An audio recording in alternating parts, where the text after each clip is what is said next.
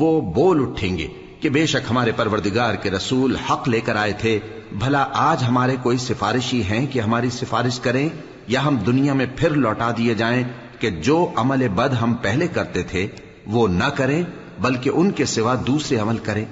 बेशक इन लोगों ने अपना नुकसान किया, और जो कुछ ये इफ्तरा किया करते थे, इनसे सब जाता रहा।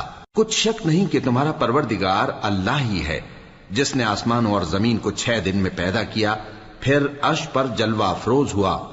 वो ही रात को दिन का लिबास पहनाता है कि वो उसके पीछे दौड़ता चला आता है और उसी ने सूरज और चाँद और सितारों को पैदा किया। सब उसके हुक्म के मुताबिक काम में लगे हुए हैं।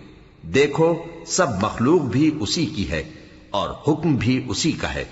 अल्लाह रब्बुल आलमीन बड़ी बरकत वाला है। लोगों अपने परवरदिगार से, आजीजी से और चुपके चुपके दुआएँ मांगा करो। वो हद से बढ़ने वालों को दोस्त नहीं रखता और मुल्क में इसलाह के बाद खराबी न करना।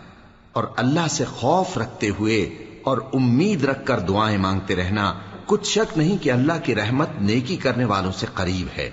और वही तो है जो अपनी रहमत यानी बारिश से पहले हवाओं को खुशखबरी बनाकर भेजता है। यहाँ तक कि जब वो भारी भारी बादलों को उठा लाती है तो हम उसको एक मरी हुई बस्ती की तरफ़ हाँक देते हैं, फिर बादल से बारिश बरसाते हैं, फिर बारिश से हर तरह के फल पैदा करते हैं। इसी तरह हम मुर्दों को ज़मीन से ज़िंदा करके बाहर निकालेंगे।